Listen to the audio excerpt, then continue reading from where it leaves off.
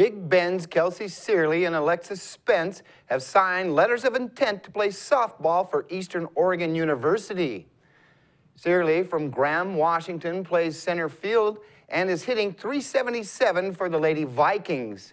Spence out of San Luis Obispo, California, has been Big Bend's ace in the circle the past two seasons.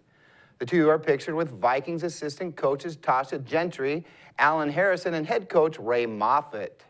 Lauren Swalback, the ladies' Vikings left fielder, is expected to sign with Eastern Oregon as well this week. The Ephrata Lady Tigers softball swept a home twin bill with Quincy to remain undefeated on the early season. Sarah Dodson tossed five innings of three-hit ball, giving up one earned run in a 12-2 win in game one. Brooks Stutzman had the big stick for the Tigers, going two for three at the plate with a triple and five RBI. Michaela Wood got the start and fanned seven jacks in a 16-6 win in the nightcap. Stutzman came up big at the dish again for Ephrata. She pounded out three hits and four at-bats with two triples, four RBI, and four runs scored.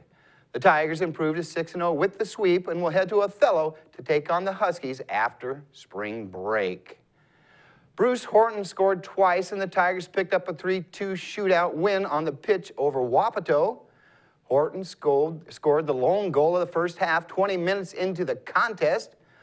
Armando Garcia's goal leveled it 1-1 at the 50th minute. Horton's second goal 20 minutes later put the Tigers up 2-1. Cesar Gonzalez tied it 2-all with a minute to go in regulation. Andres Mendoza recorded five saves for Ephrata. Rodrigo Campos denied 10 Tiger shots on frame. Gonzaga's basketball season officially came to an end this weekend against Duke. The two teams faced off in an Elite Eight matchup in Houston, Texas. The Zags and Blue Devils went back and forth the first 35 minutes, but Duke took control in the final five. The Zags' Kyle Wiltjer had a chance to tie the game at 53 all with 4.48 remaining, but missed a wide open layup. Duke then went on a 13 1 run to close it out and win it 66 52. The win denied Gonzaga their first appearance in the Final Four. Kyle Wiltjer finished with a game-high 16 points for the Zags.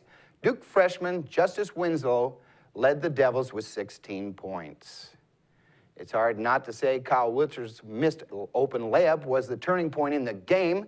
Gonzaga head coach Mark Few says the missed layup was just a bad luck basketball play for the Zags.